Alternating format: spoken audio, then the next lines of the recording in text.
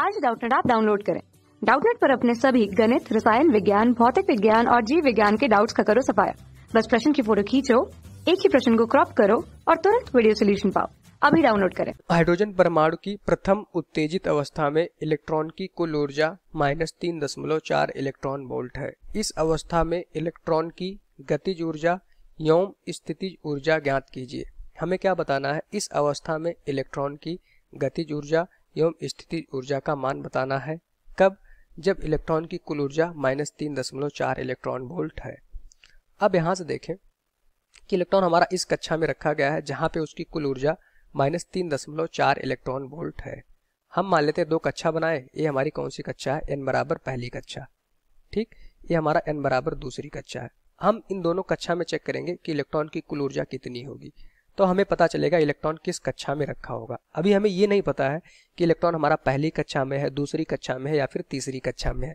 हमें बस इतना पता है कि इलेक्ट्रॉन जहाँ पे भी है, उसकी कुल ऊर्जा माइनस तीन दशमलव चार इलेक्ट्रॉन वोल्ट है। क्वेश्चन में क्या दिया हाइड्रोजन परमाणु की प्रथम उत्तेजित अवस्था। यहाँ से एक चीज़ हमें गिवन है कि इलेक्ट्रॉन अभी कहाँ पे है? प्रथम उत्तेजित अवस्था। तो यन बराबर एक हमारे पास होती है मूल अवस्था। ठीक? एन बराबर दो हमारे पास होती है प्रथम उत्तेजित अवस्था। तो यहाँ से एक हिंट मिला कि इलेक्ट्रॉन अभी हमारा कहाँ पे है? एन बराबर दूसरी कक्षा में। क्यों? क्योंकि यहाँ पे साफ़ साफ़ लिखा है इलेक्ट्रॉन अभी कहाँ पे है? प्रथम उत्तेजित अवस्था में। मतलब एन बराबर दूसरी कक्षा में इलेक्ट्रॉन हमारा यहाँ पे रखा हुआ है। मतलब यहाँ पे हमारा इलेक्ट्रॉन गति कर रहा है। अब इस अवस्था में इलेक्ट्रॉन की हमें क्या क्या निकालना है? गतिज ऊर्जा एवं स्थितिज ऊर्जा का मान निकालना है।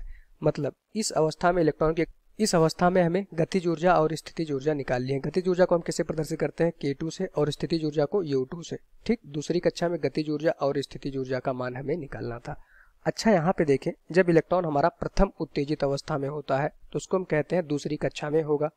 और इस कक्षा में इसकी जो ऊर्जा हो जाएगी E2 अच्छा किसी कक्षा में जो ऊर्जा का सूत्र होता है, कुल ऊर्जा का, क्या होता है? माइनस तेरह दशमलव छः इंटू जेड स्क्वायर बटे एन स्क्वायर। अच्छा ये क्या हमारे पास हाइड्रोजन का परमाणु है? तो हाइड्रोजन के परमाणु के केस में जेड का मान हो जाता है वन। ठीक, अब यहाँ से कुल ऊर्जा का जो सूत्र हो जाएगा ई एन बराबर माइनस तेरह दशमलव छः बटे एन स्क्वायर। अभी इलेक्ट्रॉन हमारा कहाँ पे है? दूसरी कक्षा में है। तो दूसरी कक्षा में जो ऊर्जा हो जाएगी, यहाँ से उसको निकाल सकते हैं ई टू बराबर माइनस तेरह दशमलव छः बटे एन की जगह पे क्या पुट कर देंगे? दो, चार। और इसका मान हो जाएगा हमारे पास माइनस तीन दशमलव चार इलेक्ट्रॉन वोल्ट। दूसरी कक्षा में इलेक्ट्रॉन हमारा जो रखा है, उसकी कुल ऊर्जा कितनी हो जाएगी? माइनस तीन दशमलव चार इलेक्ट्रॉन वोल्ट।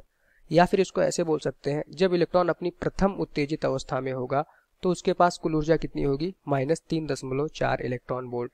तो इसकी ऊर्जा यहाँ पे देखें ई टू बराबर इस इलेक्ट्रॉन की हो जाएगी। माइनस तीन दशमलव चार इलेक्ट्रॉन वोल्ट, जो कि हमें क्वेश्चन में गिवन है।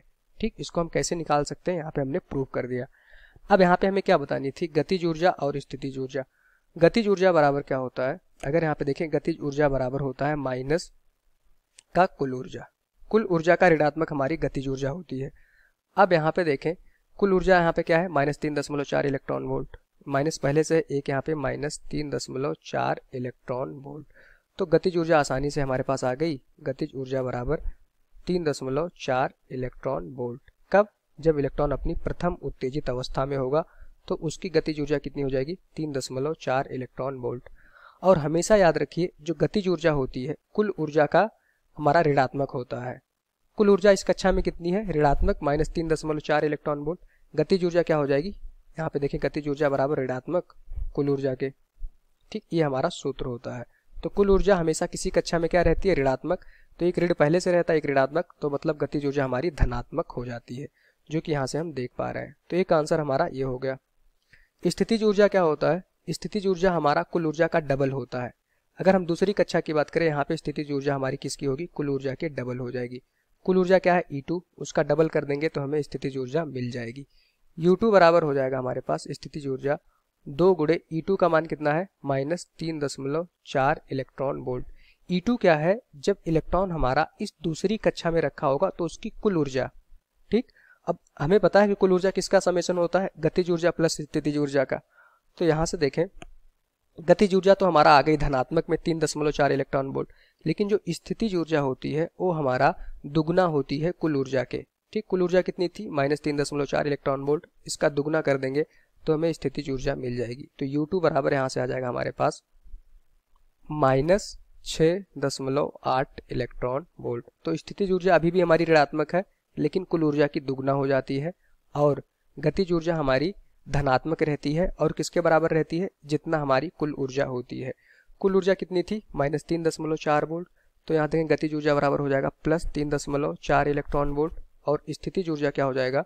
उसको के टू लिखेंगे, यहाँ पे यू टू बराबर आ जाएगा हमारे पास माइनस छः दशमलव आठ इलेक्ट्रॉन वोल्ट। ये दोनों हमारे इस क्वेश्चन के आंसर हो जाएँगे। थैंक यू कक्षा छठी से बारहवीं से लेकर NEET I I T JEE वो एडवांस के लेवल तक। एक करोड़ से ज़्यादा छात्रों का भरोसा। आज ही डाउनलोड करें डाउट डाउटनेट ऐप या व्हाट्सअप करें अपने सारे डाउट्स आठ चार सौ चार सौ चार सौ पर।